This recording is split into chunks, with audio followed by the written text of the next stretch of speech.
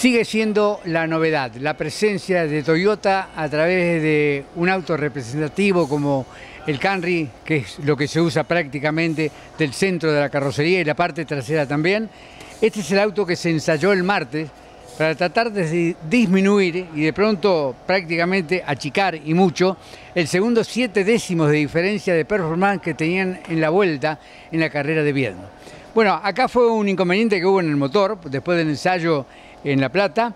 Eh, apareció una merma de potencia, lo desarmó Rodrigo Agut, el responsable, encontró un cilindro rajado, eh, tuvo que repararlo de apuro, ya lo banqueó seguramente en su taller, fíjense, está empaquetado, está Kieslin acá eh, supervisando el montaje del mismo, pero uno de los cambios más importantes es que se ha pasado del difusor, le digo lo que es el difusor, estos son, por ejemplo, este es el múltiple de admisión, acá están los carburadores, eh, en el caso de los motores que diseñó Berta, es el único motor que yo conozco en el mundo que teniendo seis cilindros, por eso hay seis bocas de admisión, tiene cuatro carburadores, es decir, dos carburadores de doble boca. Bueno, el carburador tiene en la parte de entrada un sistema de difusor acelerador de velocidad de aire para lograr el efecto de carburación. En la carrera de Viedma, el carburador tenía un difusor de 32 milímetros.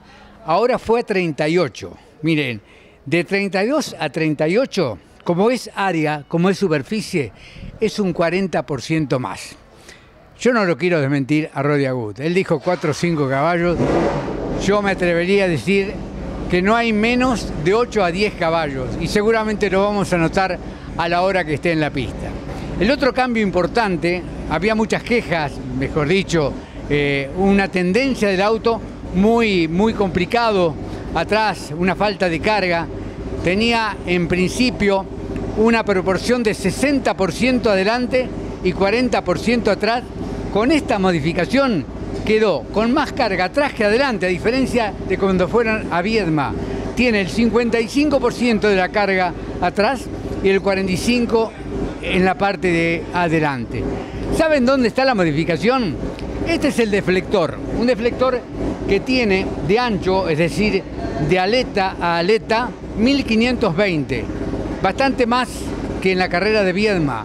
Es la misma medida que utiliza el auto que representa Chevrolet y el que representa a Dodge.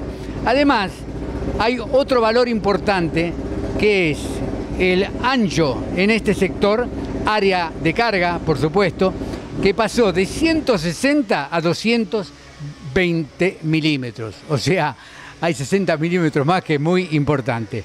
Y por último, también hay un desplazamiento hacia atrás. Ahora han tomado una medida que en la referencia de la técnica tiene que ver con parte de la estructura, o sea, desde un orificio que hay aquí de la estructura tubular del auto, medido hacia atrás, este tiene en la carrera de Neuquén, a diferencia de la de Viedma, 90 milímetros más de desplazamiento.